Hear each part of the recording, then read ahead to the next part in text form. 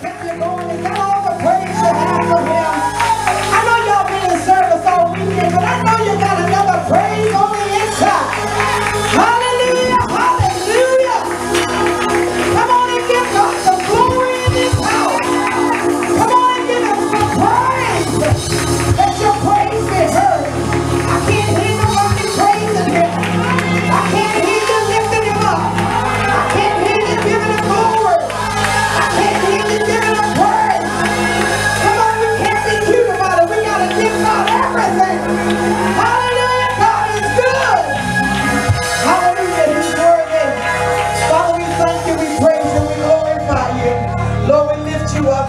Give you all the glory right now. Father, we thank you for the presence that we feel, your presence that we feel in this place. God, we thank you for the liberty, Lord. We thank you, oh God, even for the freedom right now. Oh God, to call upon your name. Father, we ask right now that you give us strength. Oh God, to carry your word. Oh God, ask you, oh God, please, oh God, hide me behind the cross. Let no flesh of mine glory in your presence. And Father, I ask that you bless this ministry in the name of Jesus.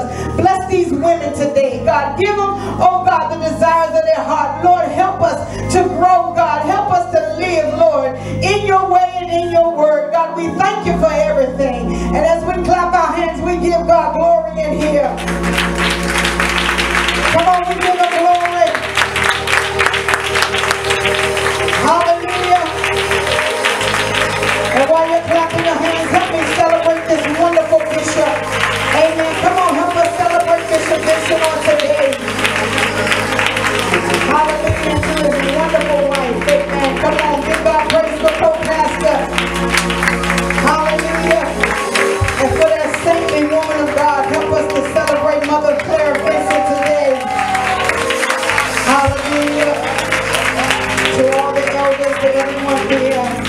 Amen. You may take your seats to my sweetheart in his absence.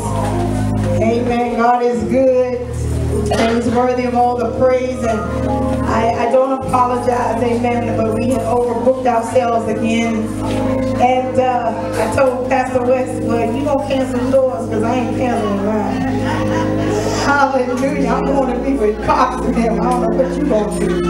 Amen. But we uh, thank God, amen, to be here. I'm glad to have my daughters and my son with me. Amen. Erica. Amen. Chris. Amen. My goddaughter. Amen. My godson. Amen. Glad to everybody to my wonderful uh, cousin and mentor, amen, Evangelist Bailey, just to everybody, amen, to my armor bearer on today. Hey, uh, I'm just going to tell y'all, I've been trying to keep myself together and sitting up here, and as the praises were going forth, because I just feel it on the inside. Because if y'all don't really understand, I said that I was a 9-11 survivor, and they just commemorated all these people that were gone on to glory.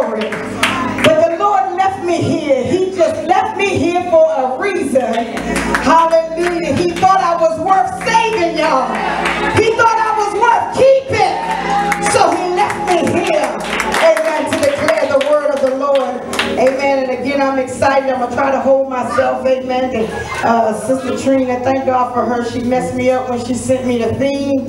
Amen. I've been bubbling over ever since. And I just, I just know God got a word in the house. And if he don't have it for you, he had it for me. Amen. So I'm just here to declare it. I do want to make this statement. Y'all know how I am. I'm very, you know, I'm very open. I don't keep nothing here.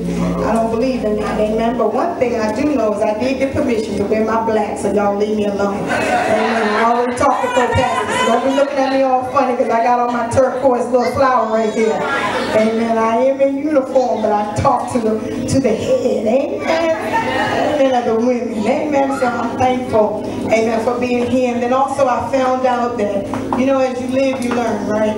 And I learned that uh, co-pastor, I'm hanging with the wrong group of people. I'm hanging with the wrong group of people. And I was at a wedding couple of mo- on Monday, and I found out I was just hanging with the wrong group of people. And if y'all want to go somewhere in life, y'all need to hang with the Mason girls, because they're some bad girls.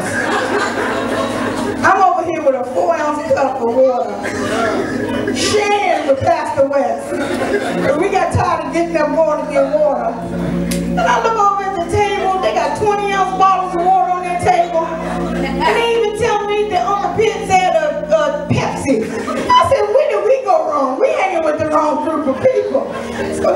somewhere. Amen. You hang with them. Amen. But I'm just glad to be here. Amen. I'm glad to celebrate with you all. Y'all look so wonderful. Uh, just glad to see everybody smiling faces. And so let's go into the word. I'm going to ask Evangelist Bailey if she would prepare to read for us. If you would grab your Bible, stand with us. Amen. As we go to the word. I'll be coming from Second Kings, the fourth chapter, um, the 13th down to the 24th verse. And y'all got mighty quiet on me. I guess y'all tired from all that shouting. And amen, but it's all right. Amen. I'm just glad to be here. Can I tell y'all, I'm just glad to be here. I thought my life was gone. I thought it was gone 14 years ago. I thought my life was gone. As I began to run from when the plane hit the building, I was working with Secretary Rumsfeld at that time, and I uh, we felt the impact of the plane hit the building, and it hit so hard it knocked me out of my seat. And when they knocked me out of my seat, and I just remember them coming and saying, evacuate the building, uh, I don't remember no flagpoles. I don't remember where they told us to meet. I was running for my life. As I was running down the hall, I tell everybody like it was yesterday because I still feel the heat of the smoke that was rumbling behind me. Felt stuff, shit, you know, was touching my neck and the debris was hitting me that was hot and God spared my life. He spared, he spared, he spared my life.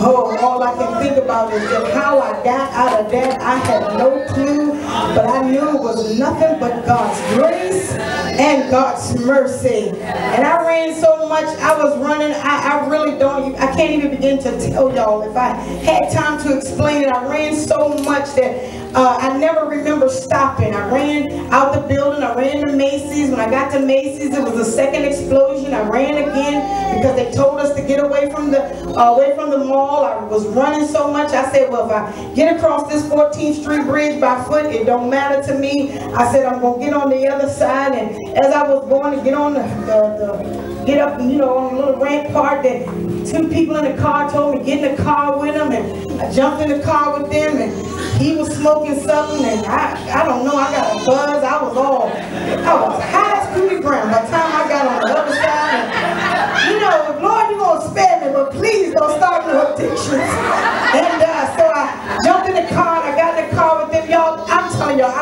These people, she just told me get in the car. When, that's to let you know when you're adrenaline up, you just do whatever comes natural. I jumped in the car with them, and by the time we got, I don't know how we got across the bridge, felt like we was on two wheels, I don't know. We got across the bridge.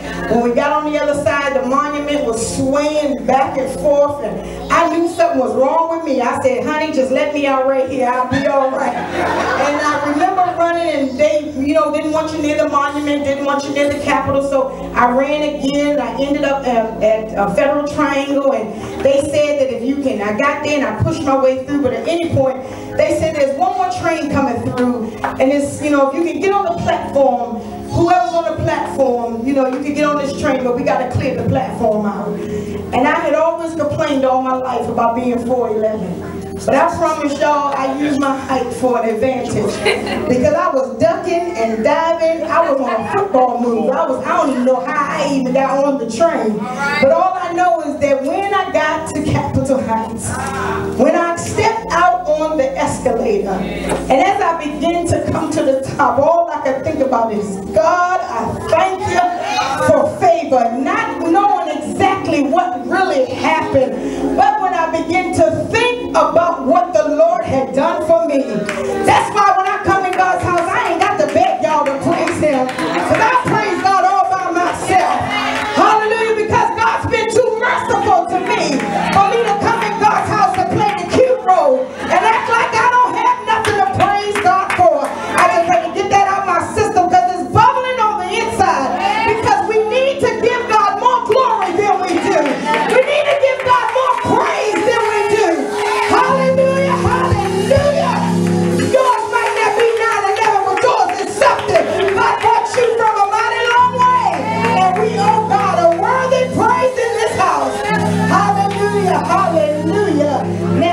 assignment that's at hand. Come on, let's thank God for Pastor West coming in. Hallelujah. Can y'all help me celebrate my hubby?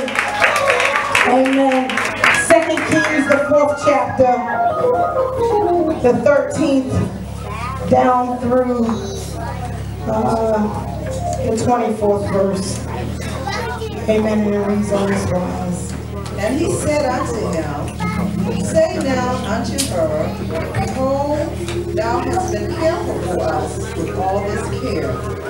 What is to be done for thee? Wouldst thou be spoken for to the king or to the captain of the host? And she answered, I dwell among mine own people.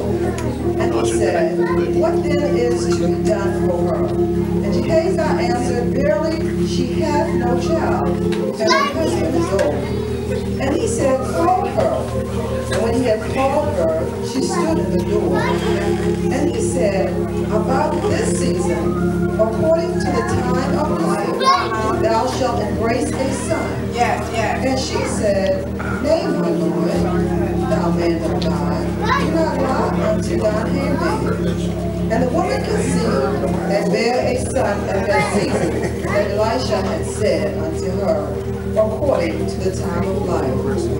And when the child